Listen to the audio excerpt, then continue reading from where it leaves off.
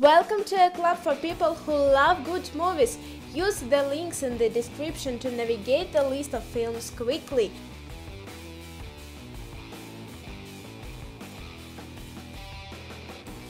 Origin.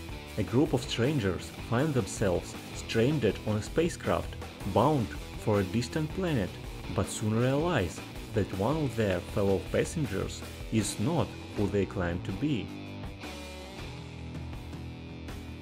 Alien. In deep space, the crew of commercial starship Nostromo is awakened from their cryosleep capsules halfway through their journey home to investigate a distress call from an alien vessel. Then terror begins when the crew encounters a nest of eggs inside the alien ship. An organism from inside an egg leaps out and attaches itself to one of the crew, causing him to fall into a coma. Transformers. The fate of humanity is at stake when two race of robots, the good Autobots and the villainous Decepticons, bring their war to Earth. The robots have the ability to change into different mechanical objects as they seek the key to ultimate power. Only human youth, Sam Witwicky can save the world from total destruction. Avatar. On the lush island world of Pandora live a Na'vi, beings who appear primitive but are highly involved. Because the planet's environment is poisonous, human Na'vi hybrids called avatars must link to human minds to allow for free movement on Pandora. Jake Sully, Sam Worthington, a paralyzed former Marine, becomes a mobile again through one such avatar and falls in love with a Na'vi woman, Zoe Saldana.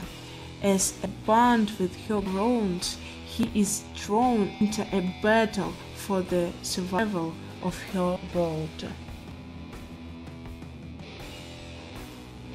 Guardians of the Galaxy Brash space adventurer Peter Quill finds himself the quarry of relentless bounty hunters after he steals an orb coveted by Ronan, a powerful villain.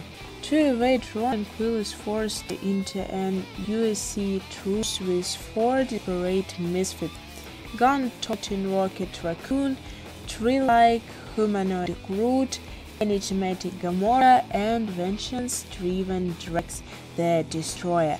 But when he discovers the orb's true power and the cosmic threat it poses, Quill must rely his ragtag group to save the universe.